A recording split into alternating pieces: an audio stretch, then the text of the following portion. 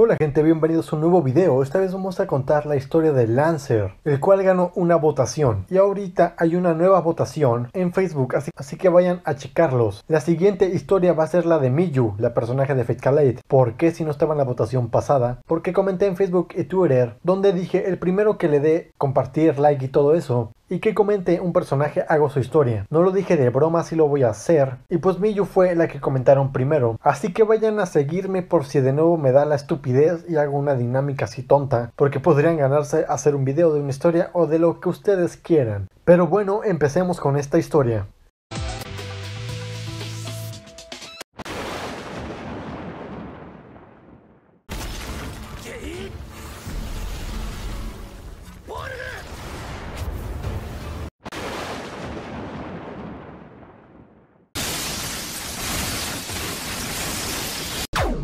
Lancer es el servant de Basset en la Quinta Guerra del Santo Grial, pero luego se convierte en servant de Kotomine Kirei, ya que este hiere fatalmente a Basset. Y también es el servant de Tosakarin en la Guerra del Munsell en Fate Extra. El verdadero nombre de Lancer es Kuchulain, el Niño de la Luz, un héroe del ciclo del Ulster de la mitología irlandesa. Era un semidios descendiente de una mujer mortal, Deitin, la hermana menor del rey, del rey Conchobar Magnesa, y la deidad Lug, el dios que gobierna el sol y que es miembro de la familia divina Tanan en la mitología celta. Deitin, la hija de una druida, el padre de Conchobar y Maga, desaparecieron de la tierra de los jóvenes sin casarse con nadie. Allí Edia dio luz a 70.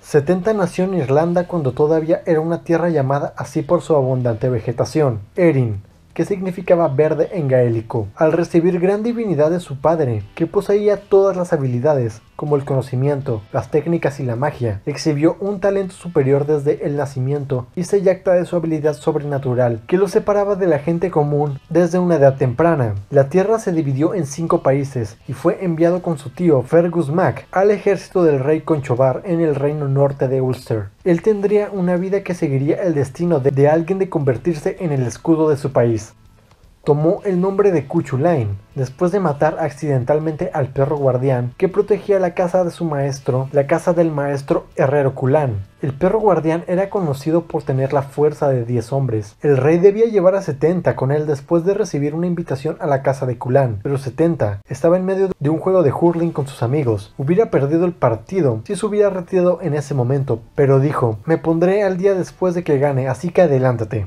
El rey le permitió llegar tarde, la tragedia comenzó después de que uno de los sirvientes de Kulan accidentalmente cerrara la puerta. Al llegar tarde, 70 fue atacado por el perro salvaje de Kulan. Él lo estranguló hasta la muerte con sus propias manos, y la gente que estaba dentro se reunió en la puerta después de escuchar la conmoción. Al enterarse de que 70 derrotó al perro guardián, estaban llenos de conmoción y admiración. Había algo de tristeza en los ojos de Kulan en perder a su preciado perro guardián. Entonces 70, avergonzado de sus acciones, le dijo, Este perro tiene hijos. Si lo hace, ¿podría permitirme cuidar de ellos? Los criaré para que sean perros guardianes tan fuertes como su padre. Hasta entonces seré tu perro guardián. Kulan, impresionado con la fuerza del niño, le respondió, No, no necesito eso. Seré yo quien cría los perros que protegerán mi mansión. Tú, por otro lado, debes entrenarte a ti mismo. Algún día serás el perro guardián de todo Ulster. Todos los guerreros en la escena asintieron con la cabeza. En consecuencia, todos comenzaron a llamar al niño perro salvaje de Kulan, Kuchulain en gaélico irlandés. El nombre elogia no solo la fuerza por haber matado al famoso perro salvaje, sino también por su personaje que pensó en el dueño del perro, perdido incluso cuando era niño. Todavía era un guerrero aprendiz en ese momento, uno en el grupo de entrenamiento para niños que deseaban convertirse en caballeros de la rama roja. Tenía alrededor de 12 o 13 años, aunque afirmaba que fue solo la adrenalina lo que le permitió realizar tal hazaña, honrando la noble declaración tomó un geas. En el folclore irlandés es una obligación o prohibición mágica que se impone una persona a sí misma. Y esta fue decidir nunca comer o matar un perro. Se profetizó que este niño vivirá como un héroe a una edad temprana, debido a su ascendencia divina. Después de que su nombre cambió, el grupo de aprendices se reunió alrededor de un druida llamado Catbat, preguntando en un alboroto cuáles de ellos se convertirían en guerreros famosos. Catbat era poderoso con sus adivinaciones lo suficientemente fuertes como para determinar el futuro Sin saber cómo manejar la situación, decidió que solo le diría a aquellos que tomaran las armas ese día. En combate, la adivinación fue tan mala que ninguno de ellos intentó pasar por los ritos de la guerra, aunque Cuchulain estaba pescando mientras se apoyaba en un árbol de, avellano debido a su desinterés con esto de las adivinaciones del futuro. Pasó por los ritos de la guerra ese mismo día y recibió la profecía donde decía, a cambio de gloriosas hazañas de valor, su vida sería breve. Él aceptaría fácilmente tal destino sonriendo y riendo. Entonces el rey Conchobar enfureció con él por haberse convertido en un guerrero a su corta edad, lo que causó que el temperamento de Cuchulain también se desatara. Rompió las lanzas del castillo y destrozó un carro, diciendo que ahora intenta decirme una vez más que no soy lo suficientemente fuerte para ser un guerrero. Fue aceptado en la rama roja, pero afirma que no había mucho en el título. Podía hacer lo que quisiera mientras no fuera desleal, permitiéndole pelear con otra tierra y luego tener una fiesta esa misma noche.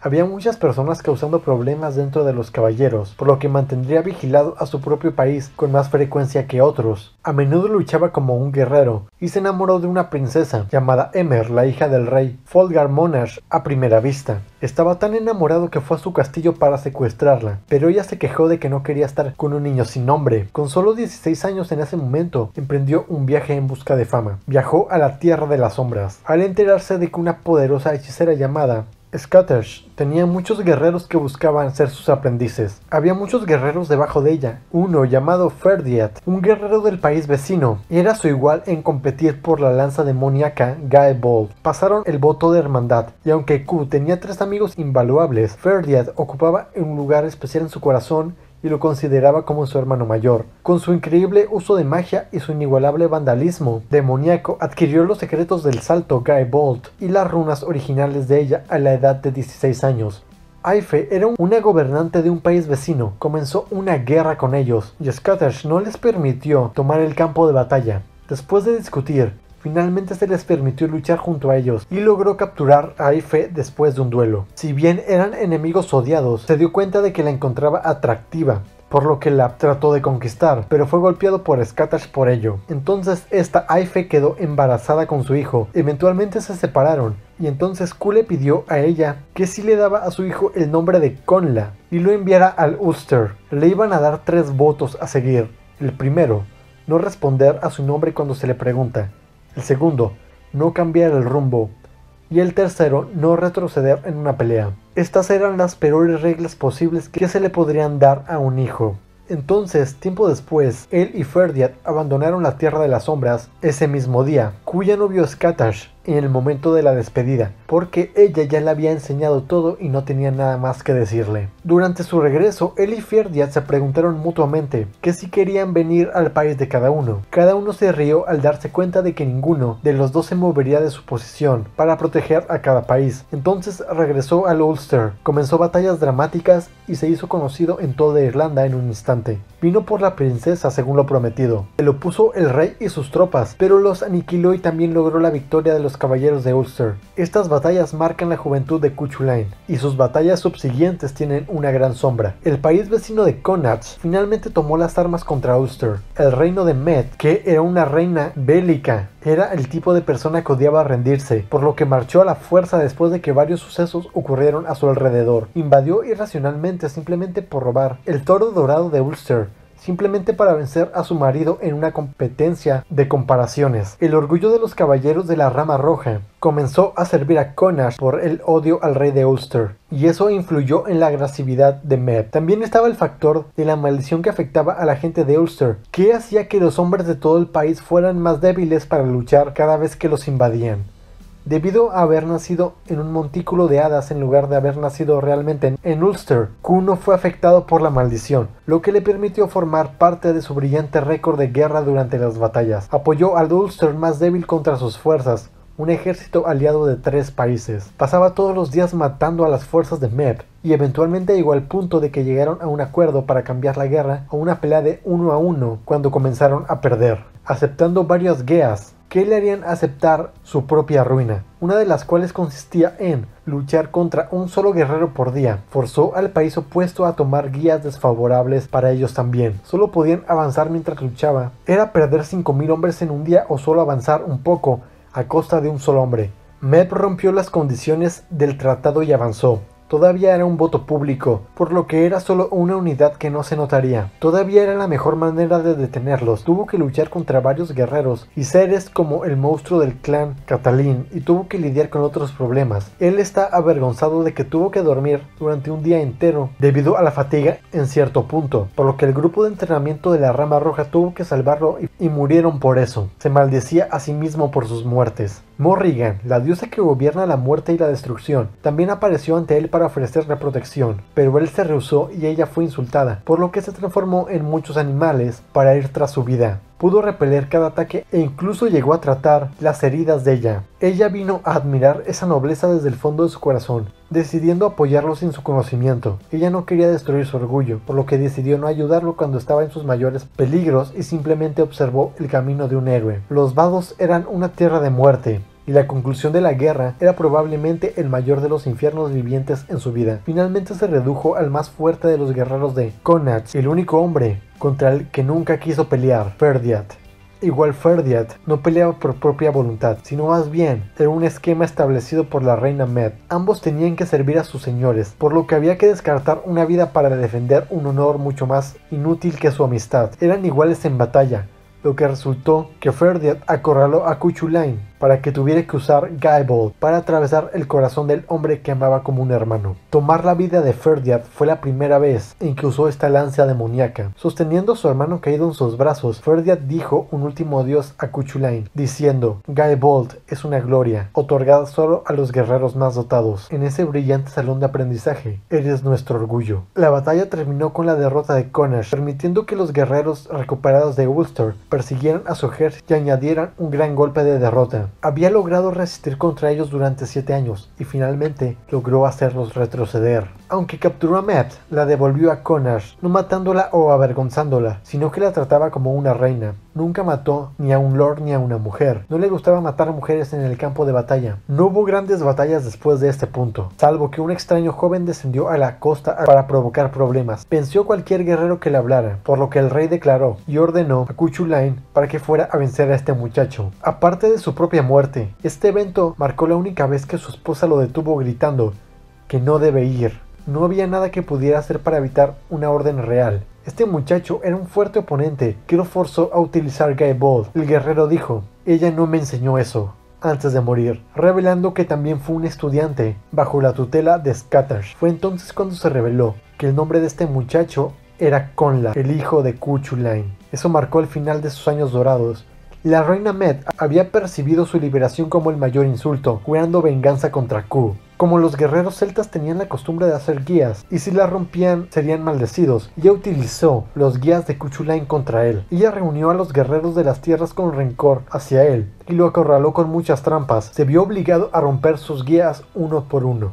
Ulster estaba una vez más acosada por la enfermedad, por lo que desafió al ejército de Meb por sí solo, actuando como el escudo de Ulster y cometiendo muchas acciones de valor, pero cayó en decenas de trampas durante la batalla y luchando furiosamente, finalmente fue brutalmente asesinado y murió atravesado por su propia lanza mágica. No se le permitió morir acostado y se le ató a un poste. Vio a una nutria bebiendo la sangre que había derramado en el río y murió de pie mientras se reía de su avaricia aterrizó un cuervo en el hombro de su cadáver, que se dice que fue la encarnación de Morrigan, quien continuó dándole su amor no correspondido.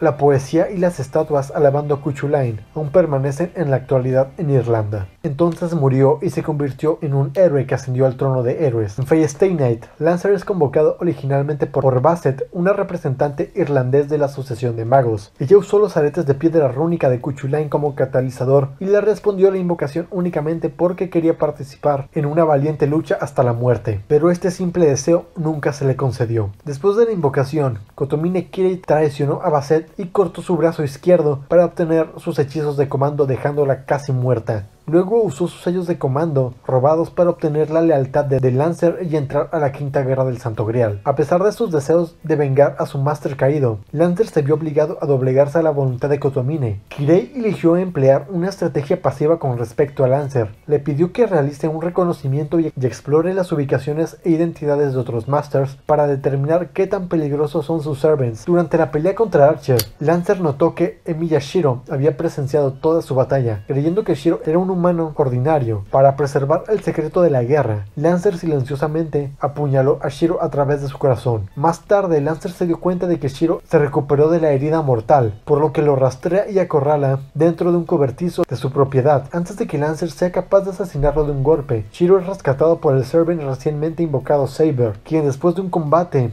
contra Lancer. Superado, Lancer huye de la escena justo antes de la llegada de Archer y su Master. Después de esto, durante la mayor parte de la historia, Lancer es generalmente inactivo. En la ruta de Fate, Shiro es atraído a la iglesia de Kotomine una vez más herido por Lancer. Saber finalmente rescata a Shiro. Después de que los acontecimientos se desarrollan, Kotomine revela a su otro servant Gilgamesh, el Archer de la guerra pasada. Kotomine les ordena a ambos que maten a Saber y Shiro. Lancer es disgustado por Kotomine y decide rebelarse a pesar de que afirma que lo hace por odio hacia Gilgamesh y Kotomine y no para ayudarlos. Lancer opta por luchar contra Gilgamesh y de ese modo ayuda a Shiro y Saber a escapar. Sobrevive a Gilgamesh por mediodía, pero finalmente es derrotado. En un Limit Brayboards, después de ser expulsado de la iglesia por Caster y fingiendo su muerte, Kotomine le ordena a Lancer que coopere con Shiro y Rin. Lancer les ayuda en su plan para derrotar a Caster luchando contra Archer para distraerlo, para que Rin y Shiro puedan entrar en la iglesia. Entonces derrota a Archer, pero eligiendo no concluir su pelea, luego reaparece para ofrecer su ayuda nuevamente a Shiro y Saber después de que Rin es capturada. Entonces Lancer va a salvarla. Al rescatar a Rin, Kirei aparece de repente y ordena a Lancer matarla. Además de su anterior disgusto con Kotomine, Lancer ha llegado a admirar a Rin y por lo tanto rechaza su orden. En respuesta a esto, Kotomine usa un sello de comando para forzar a Lancer a darse una herida mortal. Sin embargo, antes de que desaparezca, Lancer logra matar a Kotomine y se despide de Rin. Antes de su muerte incendia al castillo Ainsberg. En Heaven's Field, al sentir un disturbio en el templo Riodo, Lancer lo investiga según las órdenes de Kotomine de explorar la competencia. Él descubre y se enfrasca en una batalla contra Assassin, pero durante la batalla es atacado y asesinado mientras su corazón es consumido por este True Assassin. Luego su cuerpo es absorbido por la sombra. En Fate Hollow Ataraxia, el papel de Lancer se expande mucho más que en Fate Stay Night. Él normalmente es visto pescando en los muelles de Fuyuki, pero frecuentemente se le ve vagando por la ciudad o en su trabajo de medio tiempo. Conversa con muchos de los antiguos participantes de la Guerra del Santo Grial y es muy querido. Él no intenta combatir a las bestias de Avenger durante el eclipse de Fuyuki. En lugar de eso simplemente se queda viendo el ascenso de Avenger al Heaven's Field. En Fate Extra, él es el servant de Tosa Karin. Él se encuentra por primera vez en la ronda de eliminación contra, contra Basakar y Rani. Cuando la batalla se convirtió en favor de Lancer y Rin, Rani decidió cometer un kamikaze al sobrecargar los circuitos mágicos y explotar toda la arena. Lancer impresionó con su compromiso, pero Rin le ordenó a Lancer empalar su corazón antes de que explote. Hakuno se le transportó a la arena gracias a un sello de comando para salvar a una de las dos. La ruta de Rin cuando Rani estaba a punto de explotar, Lancer se sacrifica para salvar a Hakuno y Rin. En la ruta de Rani, mientras el servant de Hakuno pelea contra Basakar, Lancer usó Gaebol para empalar el corazón de Rani. Rin y Lancer serían los oponentes de Hakuno en la sexta ronda. Hackearon el tablón de anuncios para que Hakuno no conociera al oponente. En la arena, un enemigo desconocido que más tarde se reveló como Lancer estaba siguiendo a Hakuno y a su servant con intención asesina hasta que Lancer se retiró para evitar la confrontación. Al día siguiente, Lancer una vez más trata de matar a Hakuno atrayéndolos a la arena y usa una combinación de sus runas y su Noble Phantom para matarlos desde la distancia en la escuela. Sin embargo, Rin lo detuvo y se encontró con una gran detonación en la entrada de la arena. Entonces tienen su batalla de eliminación, donde Hakuno gana. Entonces Lancer se disculpa con Rin por haberle fallado, aunque Rin se culpa a sí misma por ser una Master débil. Y ahí termina la historia de Lancer Line. Vayan a votar a Facebook y déjenme aquí opciones de qué otra historia quieren. Si el video les gustó, denle like, comenten qué les pareció, compártelo para que más gente se entere de estos videos. Te dejo mi Facebook y Twitter en la descripción y suscríbete que es lo más importante. Nos vemos.